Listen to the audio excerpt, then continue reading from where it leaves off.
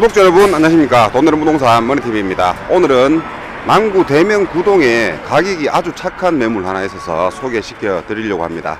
지금 제가 나와 있는 곳은 대구 지하철 1호선이 지나는 대명로 대로변이고요. 오늘 매물은 대명로 대로변에서 이 길을 따라서 약 1분 걸어가시면 오늘 건물이 위치하고 있습니다. 1분이라고 말씀을 드린 만큼 오늘 매물은 안지랑역까지 120m로 도보 1분이면 충분한 곳에 있기 때문에 초역세권 매물이고요. 무엇보다 오늘 건물은 말씀드린 대로 가격이 정말 착한 매물이기 때문에 영상 끝까지 시청 부탁드리겠습니다. 자, 제가 지금 가리키고 있는 곳 바로 앞에 보시면은 안지랑역 2번 출구가 이렇게 바로 앞에 위치하고 있고요. 그리고 반대편 보시면은 또 안지랑역까지 내려갈 수 있는 엘리베이터가 이렇게 구성이 되어 있습니다. 그리고 바로 건너편 도로 건너편에 보면 드린 종합병원이라고 종합병원이 이렇게 위치하고 있고요. 무엇보다 오늘 건물은 오늘 건물의 가장 큰 장점은 도보 1분 거리 초역세권이지 않겠나 그렇게 말씀을 드릴 수 있을 것 같습니다. 자, 이 길을 따라서 오늘 건물이 있는 곳으로 빠르게 이동을 해보겠습니다. 자, 이 골목길을 따라서 들어가게 되면 바로 첫 번째 정면에 보시면 골목길 내거리가 이렇게 위치하고 있는데요. 골목길 내거리 저기에서 왼쪽으로 몇 발자국 안 들어가면 오늘 건물이 위치하고 있기 때문에 다시 한번 언급해 드리겠지만 초역세권 매물이라는 점 다시 한번 강조해 드리고요. 오늘 매물은 장점이 너무 많습니다. 건물 앞으로 가서 오늘 건물의 장점에 대해서 또 말씀을 드리도록 하고요. 자, 골목길 내거리에서 들어서면 바로 왼쪽으로 공원이 하나 있습니다. 공원 바로 뒤편으로 보시면 베이지색의 건물 하나 보이실 거예요. 저 건물이고요. 제가 지금 걸어 들어왔던 대로변 대명로에서 1분 거리라고 이제 말씀드린 만큼 조금만 이렇게 걸어오시게 되면은 오늘 건물이 바로 위치하고 있습니다. 그렇기 때문에 젊은 층의 세입자뿐만 아니라 또 어느 정도 나이 있는 분들도 초역세권에 있는 매물로 정말 선호도가 있을 수밖에 없는 그런 건물이라고 말씀을 드리겠습니다. 자 그리고 오늘 건물 장점이 많다라고 말씀을 드렸는데 오늘 건물 바로 앞으로 보시면 이렇게 소공원이 위치를 하고 있어요. 그래서 보시는 것처럼 지금 운동하시는 분들도 여러 사람 이렇게 보이고요. 그리고 오늘 건물 북쪽으로 공원이 있기 때문에 일조권 사선 제한의 영향을 전혀 받지 않고 4층까지 반듯하게 이렇게 올라간 건물이라고 말씀을 드리겠습니다. 자, 항상 말씀드리지만 북도로를 접하고 있을 경우에는 일조권 사선 제한의 영향을 받지 않는데요. 오늘 건물은 동도로를 이렇게 접하고 있습니다. 동도로 6m를 접하고 있지만 북쪽으로 이렇게 공원이 위치를 하고 있기 때문에 일조권 사선 제한의 영향을 전혀 받지 않은 아주 좋은 땅이라고 말씀을 드릴게요. 자, 건물 앞에 도착을 했는데요. 오늘 건물 보시는 것처럼 건물 전면에는 노란색 대리석으로 깔끔하게 이렇게 마감이 되어 있고요. 그리고 좌측, 우측 후면부에는 또 같은 계열의 노란색 드라이비트로 이렇게 깔끔하게 마감이 되어 있는 모습 확인을 하실 수가 있습니다. 자, 오늘 건물은 사용 승인 되기 전에 2022년도 6월 달에 영상을 한번 촬영했었던 매물인데 다시 재촬영을 하러 나왔던 이유는 매매 금액의 변동 때문이라고 말씀을 드렸습니다. 최초 17억 5천에 내놓았으나 지금 현재 불경기로 인해서 13억 7천 파격적으로 가격을 다운했습니다. 자 오늘 건물은 엘리베이터까지 설치되어 있는 매물인데요. 엘리베이터 있는 매물로 13억 7천이면 정말 이 주변에서 가장 저렴한 건물이지 않겠나 해서 이렇게 다시 재촬영을 하러 나왔습니다. 자 오늘 건물 가구 구성부터 말씀해 드릴게요. 오늘 건물 1층에는 근린생활시설 한 호실과 주차 6대로 구성이 되어 있고요. 2층에는 원룸 한 가구에 투룸 두 가구 3층 역시 원룸 한 가구에 투룸 두 가구 4층에는 주인세대 단독으로 전체 8가구로 구성되어진 건물입니다. 자 오늘 건물 건물 좌측으로 보시면 주차 4대로 구성이 되어 있고요. 그리고 건물 우측으로 보시면 주차 2대 그렇게 해서 전체 주차는 6대라고 이렇게 말씀을 드리겠고요. 주차 폭도 굉장히 넓습니다. 그래서 또 주차하고 내릴 때 전혀 불편함이 없는 그런 건물이라고 말씀을 드릴게요. 자, 주차장 바닥은 보시는 것처럼 칼라무늬 콘크리트로 이렇게 깔끔하게 마감이 잘 되어져 있고요. 이 부분 보시면 기둥 앞으로 전선이 하나 뽑혀져 있는데요. 여기 전선은 또 주차 차단기를 또 설치할 때 필요한 전선이라고 말씀을 드리겠습니다. 자, 그리고 한 번씩 말씀을 드리는데 보시는 것처럼 주차장 바닥에는 이렇게 커팅을 해 놓았습니다. 그래서 커팅을 해놓게 되면은 크랙이 들어가는 부분 그런 효과도 있는 주차장이라고 말씀을 드리고요. 주차장 청고에는 보시는 것처럼 또 DMC 불온재 소재로 깔끔하게 이렇게 마감이 되어 있는 모습 확인을 하실 수가 있습니다. 자 그리고 이쪽 부분이 남쪽인데요. 남쪽 부분에 보시면 바로 오늘 건물 남쪽으로 2층 주택입니다. 그래서 오늘 건물은 주인 세대 조망권도 아주 좋고 2층까지 이렇게 일조량이 충분한 모습 영상을 통해서 확인을 하실 수가 있습니다. 자 그리고 안쪽으로 또 내부 쪽으로 이동을 해서 내부 설명 드리도록 할게요.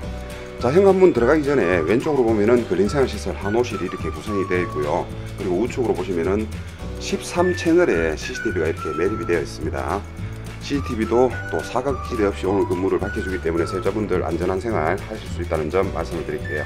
자 출입문을 열고 들어서면 바로 왼쪽으로 보시면 엘리베이터 설치되어 있습니다. 요즘 엘리베이터는 필수죠. 그리고 엘리베이터 반대편으로 보시면은 계단실이 이렇게 구성이 되어 있는데요. 계단실 왼쪽으로 또 굉장히 높은 층고에 의해서 이 부분 정말 공간이 넓게 이렇게 사용이 가능하고요. 그리고 계단실 밑으로 또 창고 이렇게 마련이 되어 있습니다.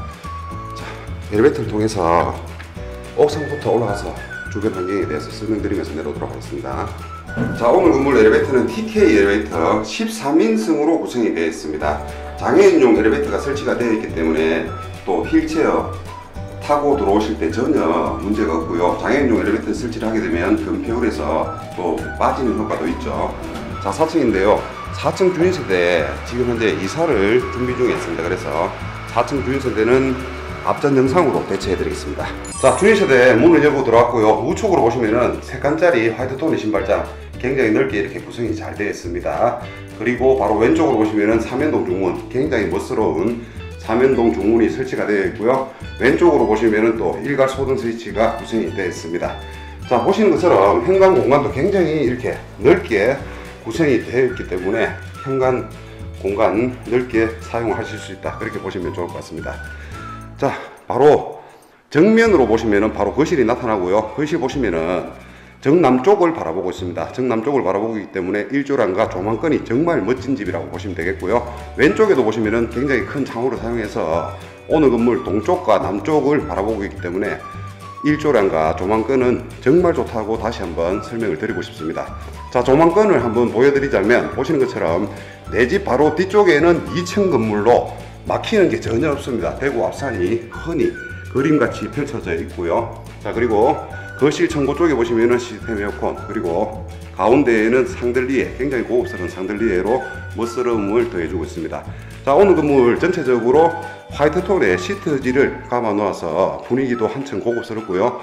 왼쪽 벽면 쪽에는 보시면은 양쪽으로 이렇게 등까지 벽등까지 완벽하게 이렇게 잘 되어져 있습니다. 가운데에는 보시는 것처럼 또 네모 반듯하게 돌아가면서 또 무드 등까지 이렇게 구성을 잘 해 놓았어요. 거실에 점수를 굉장히 많이 주고 싶습니다.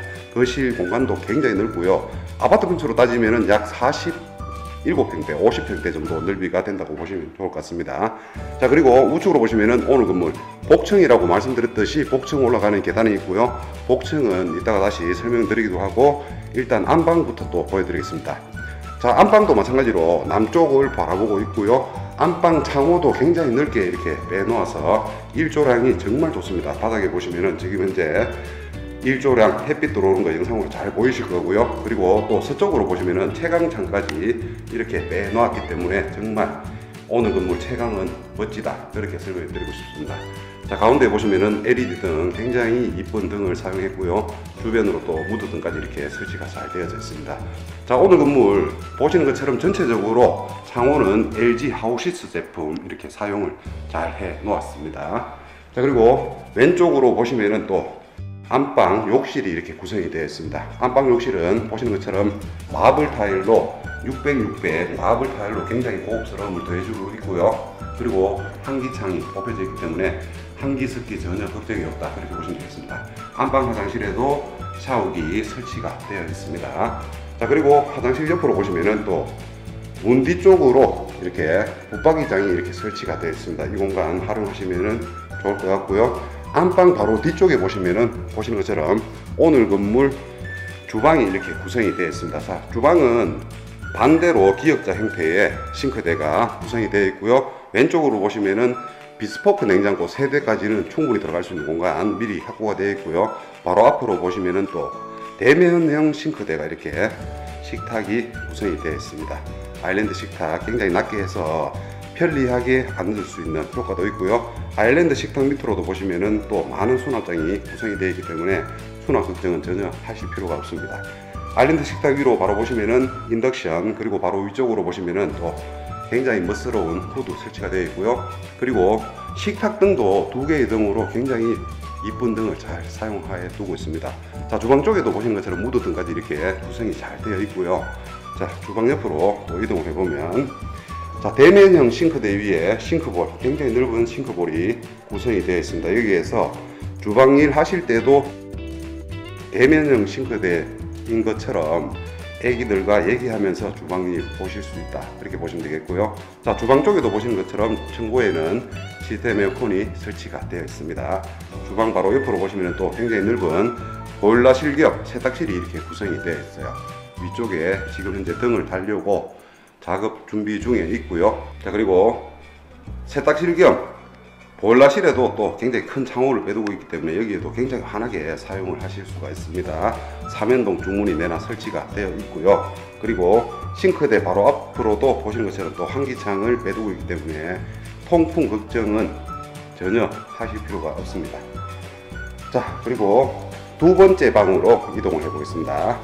자, 두 번째 방은 안방하고 이렇게 마주보고 있습니다. 가운데에 주방이 있고요. 안방, 주방, 그리고 마주보고 있는 두 번째 방입니다. 자, 두 번째 방은 북쪽을 바라보고 있습니다. 북쪽을 바라보고 있지만은 반사광이 굉장히 잘 들어오고요. 자, 두 번째 방에는 벽걸이 에어컨 이렇게 설치가 잘 되어져 있습니다. 자, 단층에 대해서 설명을 드렸고요. 또 복층으로 이제 올라가고 있습니다. 자, 복층 올라가기 전에 또 오늘 건물 외욕실 또 한번 비춰드릴게요. 외욕실은 삼연동 중문을 열고 들어서면 바로 왼쪽에 이렇게 구성이 되어 있어요. 외욕실 쪽에 보시면은 타일, 굉장히 고급스러운 타일을 구성을 잘 해 놓았습니다. 마찬가지로 600, 600 타일 구성이 되어 있고요. 보시는 것처럼 세면대도 굉장히 멋스러운 세면대 설치가 되어 있고 세면대 밑으로도 또 수납할 수 있는 공간이 마련이 되어 있습니다. 샤워부스 구성이 되어 있고요. 자 그리고 거울 쪽에 보시면은 거울 세 가지 색상 불빛이 들어오는 거울 이렇게 구성이 잘 되어 있습니다. 자 그리고 샤워부스 밑으로 보시면은 세면대하고 샤워기 쪽에는 단차를 두고 있기 때문에 세면대까지는 충분히 이런 식으로 사용을 하실 수가 있습니다. 정말 멋진 화장실 정말 이쁘게 잘 해 놓았습니다. 자 이제 복층으로 올라가 보도록 하겠습니다. 자 복층 올라가는 공간도 양쪽으로 이렇게 벽으로 구성이 되어 있어서 굉장히 안정감이 있고요. 그리고 복층 올라오는 계단도 굉장히 완만하게 이렇게 잘 되어 있어요. 자 복층 올라오시면 왼쪽으로 방이 하나 있고요. 그리고 우측으로도 또 방이 하나 있습니다. 자 방을 보시면 우선 우측 방에 보시면은 이렇게 방마다 또 이렇게 슬라이딩 도어를 사용을 잘 해놓았어요. 공간 구성에 정말 탁월하게 미닫이 문이 아니고 슬라이딩 도어를 이렇게 구성을 잘 해놓았고요. 마찬가지로 왼쪽 방 들어가는데도 이렇게 슬라이딩 도어를 구성을 잘 해놓았습니다. 자 우선 우측 방부터 설명드리자면 우측 방 보시면은 청고 높이가 2300입니다. 2300인 만큼 제가 들어와서 성인이 들어와서 허리 숙여 없이 사용이 가능한 그런 복층이라고 보시면 좋을 것 같고요. 그리고 우측으로 보시면은 굉장히 넓은 또 수납장까지 저렇게 마련이 잘 되어져 있습니다. 자 그리고 복층에도 에어컨 설치가 되어 있고요. 그리고 오늘 건물 바로 앞에 테라스가 또 구성이 되어 있어요. 테라스 이따가 보여드리도록 하고 테라스로 나가는 문도 정말 멋스러운 도어를 터닝 도어를 잘 설치를 잘 해놨습니다. 자 그리고 왼쪽 방 또 비교를 해 드리겠습니다. 자 우측 방과 마찬가지로 넓이가 거의 비슷합니다. 자 오늘 건물 단층에는 안방과 두 번째 방 그리고 복층에 방이 두 개이기 때문에 전체 오늘 건물은 주인세 대 방이 네 개라고 보시면 되겠고요. 대가족이 들어와서 사용해도 충분하다 그렇게 보시면 될 것 같습니다. 자 서쪽으로 보시면은 또 위쪽으로 창호를 빼두고 있기 때문에 보시는 것처럼 일조량 정말 좋습니다. 역시 마찬가지로 왼쪽으로 많은 수납장을 구성을 해두고 있기 때문에 수납 걱정은 전혀 안 하셔도 된다 이렇게 보시면 좋을 것 같습니다. 자 앞서 말씀드린 대로 보시는 것처럼 슬라이딩 도어를 사용해서 공간 구성을 굉장히 잘 활용을 할 수 있게끔 잘 해놓았습니다. 자 바로 마찬가지로 테라스 나가는 문이 이 방에도 이렇게 구성이 되어 있어요. 자 turning door를 열고 나가보겠습니다 자 turning door를 열고 나오면 바로 계단에서 또 옥상 올라오는 문이 바로 앞에 이렇게 구성이 되어 있고요. 자 이 공간에 굉장히 넓게 구성이 잘 되어 있어요. 넓게 잘 되어 있고 보시는 것처럼 빨래거리도 이렇게 미리 구성을 해 놨기 때문에 여기에 빨래 넣을 수 있도록 빨래거리도 구성이 되어 있다 보시면 되겠고요. 자 이 공간 굉장히 넓게 구성이 되어 있기 때문에 이 공간에 테이블 하나 두고 대구 야경을 구경하면서 가족들과 오후 단시간 보낼 수 있는 장소로 사용하시면 좋을 것 같습니다. 옥상 바닥 보시면 이렇게 방수가 우레탄으로 굉장히 깔끔하게 이렇게 마감이 잘 되어져 있고요. 그리고 바로 또 오늘 건물은 복층으로 구성이 되어 있습니다. 복층 부분에서 옥상으로 나올 수 있는 문이 양쪽으로 이렇게 놔져 있다는 점 말씀을 드리겠고요. 그리고 복층 지붕 쪽에는 또 누수에 걱정 없게끔 징크 판넬로 이렇게 사용한 모습 확인을 하실 수가 있습니다. 자, 바로 정면에 보면 제가 처음 시작했던 대명로 도로변이 바로 앞에 있고요. 바로 건너편에 드림병원이 저렇게 있는 모습 확인이 가능하고 또 안지랑역은 향후 5호선이 계획이 되어 있습니다. 5호선이 들어서게 되면은 안지랑역은 교차역으로서 또 한 번의 집가 상승은 분명해 보이는 건물이라고 말씀을 드리고 싶고요. 그리고 주변으로 오는 건물 바로 앞에는 또 안지랑 곱창 골목 그리고 앞산 카페 거리 그리고 앞산 맛둘레 길이 형성이 되어 있기 때문에 살기도 좋고 그리고 젊은 층의 인구가 많이 몰려드는 곳이기 때문에 임대 걱정은 전혀 하실 이유가 없다라고 말씀을 드리겠습니다. 자 그리고 또 내려가면서 층층 가구성 다시 한번 짚어드리도록 할게요. 자 4층에는 주인 세대가 단독으로 이렇게 구성이 되어 있기 때문에 세입자분들에게 방해받지 않고 단독으로 이렇게 사용을 하실 수 있다는 점 말씀을 드리겠고요. 자 그리고 3층입니다. 3층에는 앞서 말씀드린 대로 전체 세 가구로 이렇게 구성이 되어 있습니다. 원룸 한 가구에 투룸 두 가구로 이렇게 구성이 되어 있습니다. 오늘 건물은 재촬영을 했다라고 말씀을 드렸는데 그때 당시 사용 승인이 나기 전에 영상 또 촬영한 게 있습니다. 사진으로 확인시켜 드릴게요.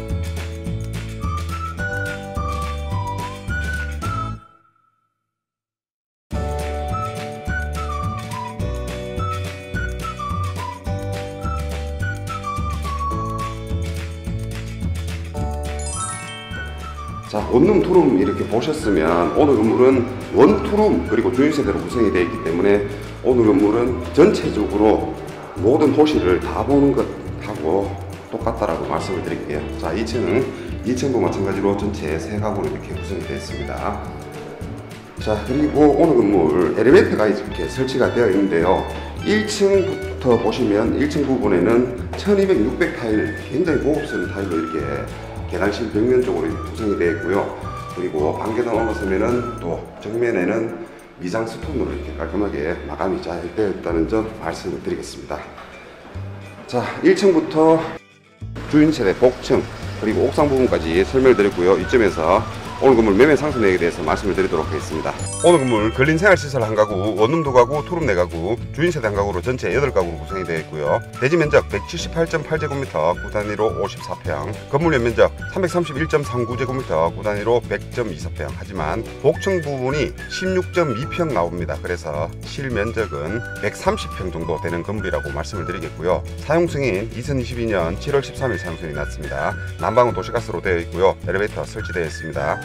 매매 금액 최초 17억 5천에서 3번 다운하여 현재 12억 5천에 나와 있고요. 융자 7억, 보증금 4억 7천5백, 인수금액 7,500, 월 수입 238만 원에 은행이자 309만 원, 은행이자를 공제한 월 순수입이 현재는 마이너스 71만 원 나오는 매물입니다. 지금 현재는 마이너스 수익이지만 주인 세대와 101호 근린생활 시설은 보증금 없이 운영 중에 있고 주인 세대는 임시적으로 보증금 없이 월 60만원 터무니없는 가격으로 운영 중에 있기 때문에 매입 후 정상적으로 운영을 하신다면 플러스 요인으로 돌아설 물건이 틀림없기에 오늘 매물 강력 추천드립니다. 그리고 오늘 건물 인수 금액이 투룸 전세 가격보다 저렴하기 때문에 가볍게 인수 가능합니다. 하지만 전세금을 돌려줘야 하기에 가장 큰 전세 보증금 1억 1,500만원 정도 여유자금이 있어야 하는 점 미리 말씀드립니다. 그리고 무엇보다 오늘 건물은 12억 5천 이 가격이면 지금 다시 새롭게 건축을 하더라도 절대 있을 수 없는 가격이기 때문에 저렴할 때 구입하셨다가 향후 시세 차익을 보시는 것도 방법 중에 하나라고 말씀을 드리겠습니다.